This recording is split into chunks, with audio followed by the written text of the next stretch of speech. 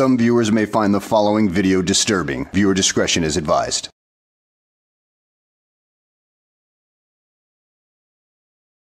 Guess who has returned from their supposed banishment? This frauder has been gone for a few weeks, but now has returned to indulge us all with their insanity.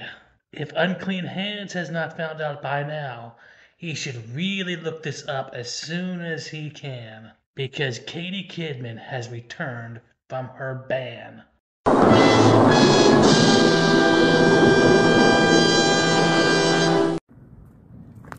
Hello, it's me, Betty, Betty, Betty. I'm just in here checking in. Look what they turned me into. All the way into it. See? That's what I am this year. The Grinch.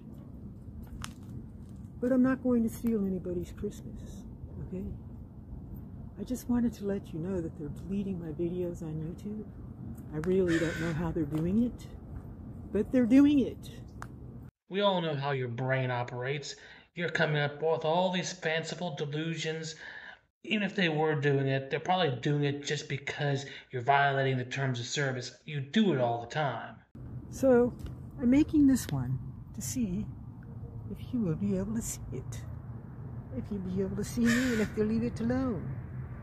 And I wants to read you something I wrote. So hang on. Let me get it.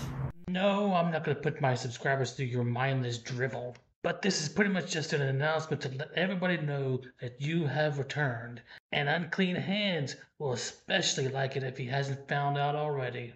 Which I will be sending a message to him soon enough. And if any of you want to send a message to him and let him know that she has returned, she is one of his favorite frauditors. So let the madness begin.